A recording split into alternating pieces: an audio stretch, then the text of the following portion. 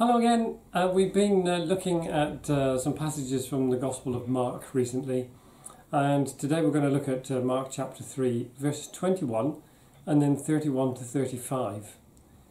And those verses say this When his family heard about this, they went to take charge of him, for they said, He's out of his mind. Then Jesus' mother and brothers arrived. Standing outside, they sent someone in to call him. A crowd was sitting around him, and they told him, your mother and brothers are outside looking for you. Who are my mother and brothers? he asked. Then he looked at those seated in a circle round him and said, Here are my mother and my brothers. Whoever does God's will is my brother and sister and mother. It's very easy to forget, isn't it, that until Jesus' ministry started at about the age of 30, uh, he'd been a member of a fairly normal family. He had brothers and sisters. He did normal things.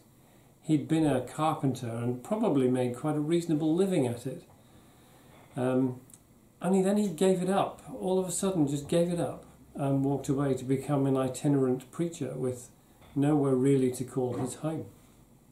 It must have seemed crazy to them that he would just walk away from the family business the way that he did. Even more so when they heard about some of the things that he was saying and doing, the way that he was challenging the Pharisees and the, the teachers of the law. Um, doing that kind of thing was only ever going to end badly for him. So they went to try and talk some sense into him. And he obviously realized what they were there for. He realized what he was what they were up to. So he asked his question Who are my mother and brothers? That question had a deep purpose to it. He was asking the people in the room, the people who were there with him, Are you with me? Are you, with, are, are you in this ministry with me? Are you, are you prepared to go with me on this journey? And the statement that he made Whoever does God's will is my brother and my sister and my mother. Those questions are still as valid for us as they were when he first asked them. Are you with Jesus? Are you prepared to do God's will?